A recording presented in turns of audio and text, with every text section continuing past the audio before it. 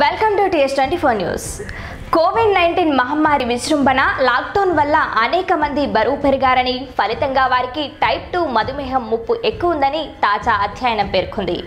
ఈ వివరాలు ప్రముఖ వైద్య పత్రిక ద ల్యాండ్సెట్ డయాబెటీస్ అండ్ ఎంట్రోకైనాలజీలో ప్రచురితమయ్యాయి.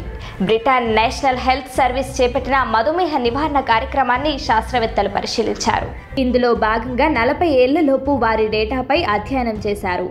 మూడేళ్ళ ముందు ఈ కార్యక్రమంలో చేరిన వారితో పోలిస్తే తాజాగా ఇందులో పాలు పంచుకున్న వారి బరువు సరాసరిన మూడు పాయింట్ ఆరు కిలోల మేర పెరిగినట్లు గుర్తించారు. శరీర బరువు కిలో మేర పెరిగిన మధుమేహం ముప్పు ఎనిమిది శాతం పెరుగుతుందని శాస్త్రవేత్తలు తెలిపారు. మహమ్మారి వల్ల మన జీవితంలోని ప్రతి అంశము మారింది. మన శరీరం మనసుపై పెను ప్రభావం పడింది. దీనివల్ల అనేక మంది మూల్యం చెల్లించుకోవాల్సి వస్తుంది.